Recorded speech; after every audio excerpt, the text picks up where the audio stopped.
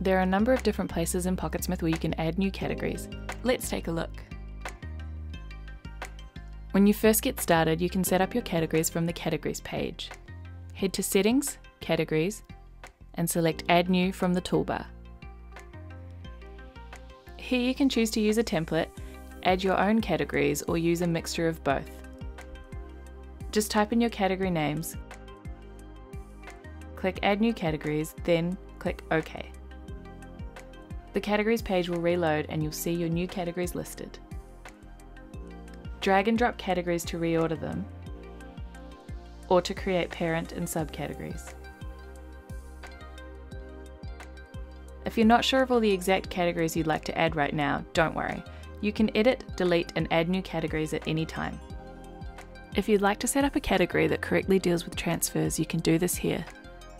Click on the three dot menu and select Edit. Choose Category Options from the left hand menu, then tick This is a transfer category. You can learn more about transfer categories in our Learn Centre. If you have bank feed accounts in Pocketsmith, these may have automatic categorisation from the bank feed turned on. This means that your transactions are automatically categorized based on categories defined by our bank feed provider. These will also show on the categories page. You can learn more about automatic categorization from the bank feed in our Learn Centre. Now let's see how to add new categories from the Transactions page. Click a transaction to bring up the edit form. In the category field, type in a new category name and click Create Category. Then click Save. Not only will this create a new category, but it will also categorize this particular transaction. Alternatively, select the checkbox beside one or a number of transactions, choose Category from the toolbar, type in your new category and click Create Category. You can also add new categories from the Categorize Items page. Head to Accounts, Categorize Items. Any uncategorized transactions will be displayed here.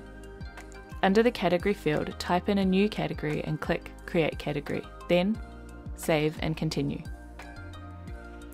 When creating a new category on the Transactions page or Categorize Items page, a pop up will appear allowing you to edit the settings for the newly created category. If you'd prefer to do this later, just click Not Now. You can always edit your category settings from the Categories page instead. Check out our Learn Centre for more details on how to edit categories, as well as how to quickly categorize your transactions using category rules and filters.